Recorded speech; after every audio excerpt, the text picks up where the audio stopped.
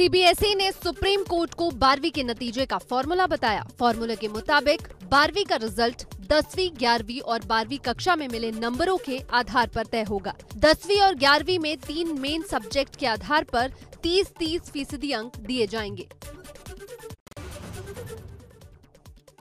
ग्यारहवीं के पाँचों विषय का एवरेज लिया जाएगा और बारहवीं के प्री बोर्ड एग्ज़ाम और प्रैक्टिकल का नंबर लिया जाएगा। बारहवीं के नंबर के 40 परसेंट के आधार पर नतीजे आएँगे।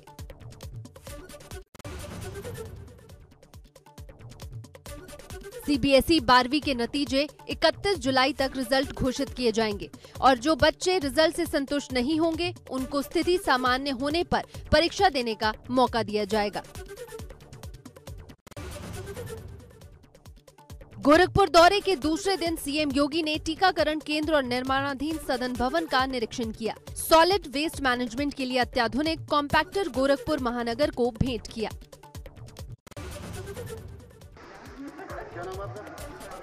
रुड़की में भाजपा विधायक प्रदीप बत्रा का चालान काटने वाले दारोगा का ट्रांसफ़र। बगैर मास्क के घूम रहे विधायक का नीरज कठैत ने किया था चालान। वो भाई हेलो मिस्टर इधर आओ लो नहीं भाई साहब सारी बातें सही है ठीक है? अप्रिशिएट करो लेकिन इतने लोग एक साथ झुंड में बना के आप बिना मास्क घूम रहे हो क्या क्या फैमिली भी नहीं घूम सकती फैमिली भी नहीं घूम सकती ऐसे। मंत्री हरक सिंह रावत और सन्नी माण कर्मकार कल्याण बोर्ड के अध्यक्ष आमने सामने। मंत्री ने अध्यक्ष के कार्यकाल की जाँच कराने की बात कही। अध्यक्ष ने बोर्ड के सचिव को हटाने के आदेश किए जारी। किसानों के विरोध प्रदर्शन के बीच फिर से गाजीपुर बॉर्डर पर जुटने लगी किसानों की भीड़। बुलंदशहर से सैकड़ों किसान पहुँच रहे गाजीपुर। बादलपुर सब्ज़ी मंडी में किसानों ने पंचायत कर कहा, अब की बार आर पार का आंदोलन। उन्नाव पुलिस के पास बचाव के लिए नहीं है कोई प्रोटेक्टर। उन्नाव में ग्रामीणों और पुलिस के बीच हुए पथराव में दिखी पुलिस की लाचारगी। टोकरी और स्टूल के सहारे पथराव से बचते दिखे पुलिसकर्मी।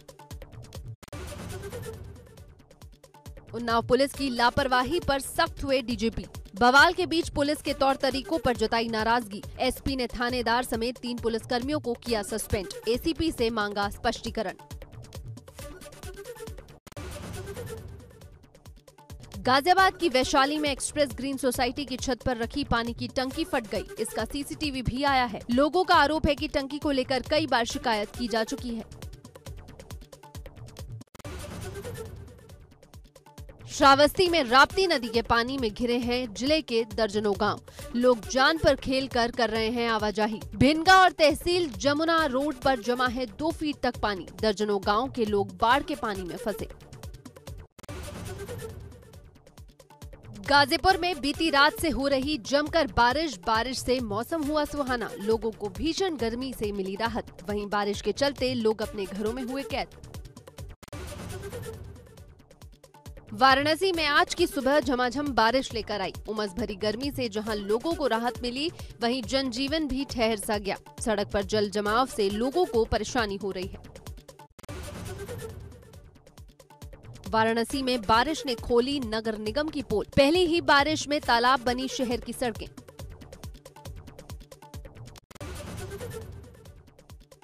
चंदौली में सुबह से जोरदार बारिश हो रही है। मूसलाधार बारिश से सड़कें जलमग्न हो गई हैं। वहीं खेतों में पानी भरने से किसानों के चेहरे खिल उठे। गोंडा में बाढ़ के खतरे से लोगों में दहशत। जून जुलाई का महीना आते ही बाँध किनारे रह रहे ग्रामीणों को डर सताने लगा। वहीं जिला प्रशासन बाढ़ से निपटने की तैयारियों में जुटा। पूर्वांचल में बीते चार दिनों से लगातार हो रही बारिश और नेपाल के पानी छोड़ने से राप्ती नदी उफनाई। नदी का जलस्तर अचानक बढ़ना हुआ शुरू। जलस्तर बढ़ने से नदी के आसपास रह रहे लोगों को सता रहा है बाढ़ का खतरा। श्रावस्ती में भी राप्ती नदी अपना रौद्र रूप दिखाने लगी। ज़िले के कई गाँवों में तेज़ी से हो रहा कटान। अपना आशियाना खुद उजाड़ कर पलायन करने को मजबूर हुए लोग। कई मकान नदी के आगोश में समाये। पिथौरागढ़ में नेशनल हाईवे टनकपुर 125 घाट पर दहली बैंड के पास सड़क पर आया मलबा। पिछले 24 घंटे से बंद है पिथौरागढ़ टनकपुर नेशनल हाईवे। रास्ता बंद होने से गाड़ियों की आवाजाही ठप। विकास नगर के चक्राता समेत पूरे पचवादून में बारिश जारी। बारिश से तापमान में गिरावट, मौसम विभाग ने बारिश का अलर्ट जारी किया था। पहाड़ी इलाकों में बारिश की दी थी चेतावनी। लगातार दसवें दिन भी संक्रमण के नए मामले एक लाख से कम दर्ज। वहीं मौत का आंकड़ा भी पहले से कम। 24 घंटों में सड़सठ हज़ार दो सौ आठ नए मरीज़ मिले। 2,330 लोगों की मौत। एक लाख तीन हज़ार पाँच सौ सत्तर लोग हुए ठीक। 16 जून तक 25 करोड़ 55 लाख वैक्सीन की डोज लगाई जा चुकी है। बीते दिन 34 लाख तिरसठ हज़ार टीके लगाए गए। अब तक करीब 38 करोड़ बावन लाख कोरोना टेस्ट किए जा चुके हैं। 24 घंटे में 19 लाख कोरोना सैंपल जांचे गए। देश में कोरोना के टोटल केस हैं दो करोड़ संतानवे लाख तीन सौ तेरह हज़ार। एक्टिव मरीजों की तादाद हुई आठ लाख छब्बीस हज़ार सात सौ चालीस। अब तक दो करोड़ चौरासी लाख इक्यानवे हज़ार छह सौ सत्तर लोग अस्पताल से हुए डिस्चार्ज। तीन लाख इक्यासी हज़ार नौ सौ तीन लोग गंवा चुके हैं जान।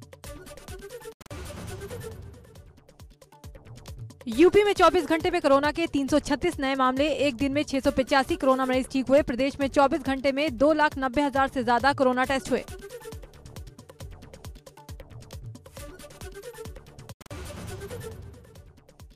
आईसीएमआर की स्टडी के मुताबिक कोरोना की दूसरी लहर ने गर्भवती महिलाओं और हाल ही में बच्चों को जन्म दे चुकी महिलाओं पर ज़्यादा असर डाला। गंभीर लक्षण वाले केस और मृत्यु दर भी पहली लहर के मुकाबले इस लहर में ज़्यादा।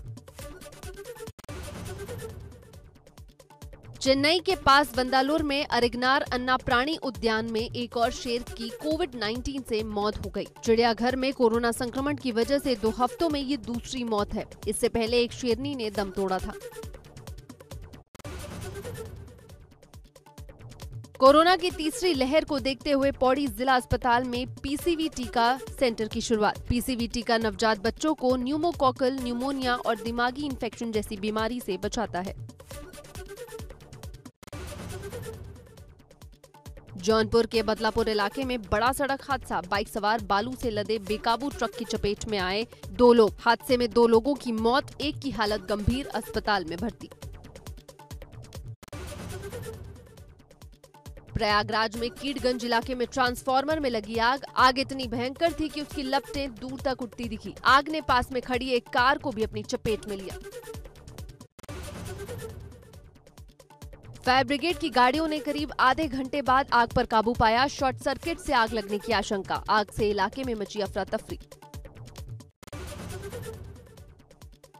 हरदोई के कोतवाली शहर क्षेत्र में जूते चप्पल की दुकान में अचानक भयंकर आग लग गई। आग लगने से दुकान में रखा सारा सामान जलकर खाक हो गया। दमकल दस्ते की मदद से आग पर काबू पाया गया।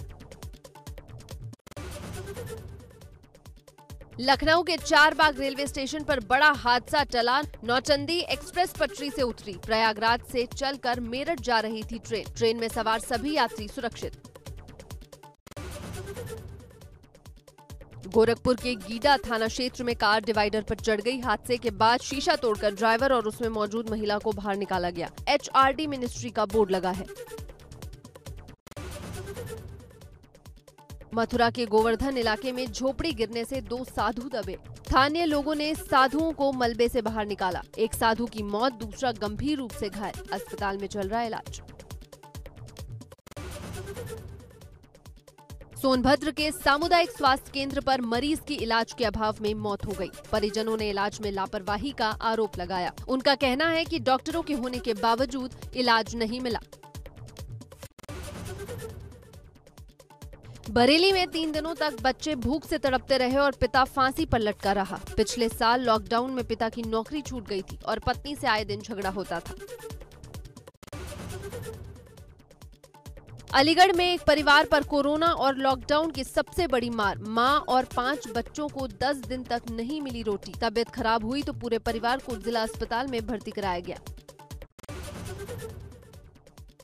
इस पूरे मामले पर अलीगढ़ के डीएम चंद्रभूषण सिंह ने कहा, तहसीलदार ने मौके पर जाकर 5000 की धनराशि परिवार को दी है और उनका अंत्योदय कार्ड भी जारी किया है।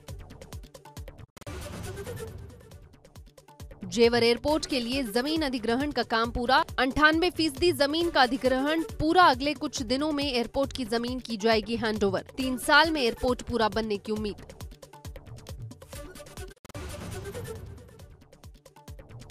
गोरखपुर में सीएम योगी ने लगाया जनता दरबार। गोरखनाथ मंदिर में फरियादों से मिले मुख्यमंत्री। समस्याएँ सुनकर कार्रवाई का दिया भरोसा।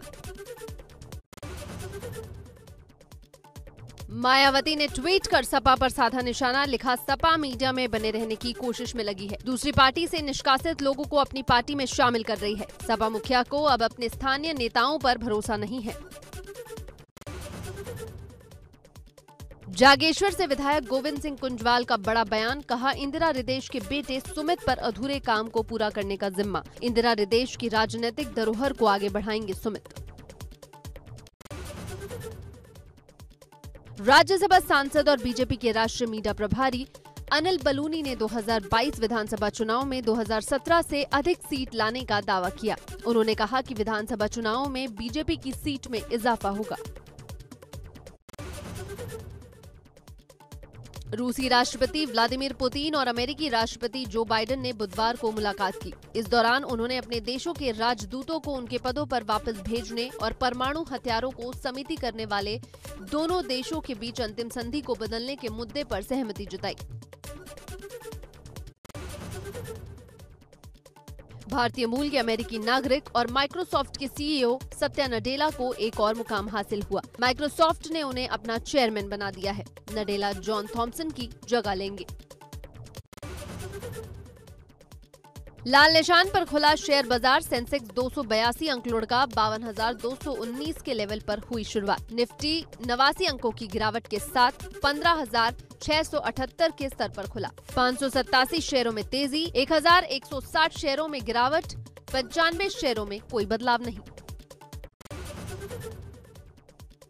व्हाट्सएप अब जल्द ही ब्लू कलर में नज़र आएगा, जिससे चैटिंग एक्सपीरियंस बदल जाएगा। कंपनी अपने ऐप पर नोटिफिकेशन इंटरफेस में कुछ चेंज करने जा रही है। ऐप पर मिलने वाली नोटिफिकेशंस का लोगो और बैच भी नए कलर में दिखेगा। रोनाल्डो के बाद अब फ्रांस के मिडफील्डर पॉल पोगबा ने प्रेस कॉन्फ्रेंस शुरू होने से पहले टेबल पर रखी बियर की बोतल को हटाया। ये वीडियो सोशल मीडिया पर वायरल हुआ, जहाँ कुछ लोग उनकी तारीफ़ कर रहे हैं तो कुछ आलोचना कर रहे हैं।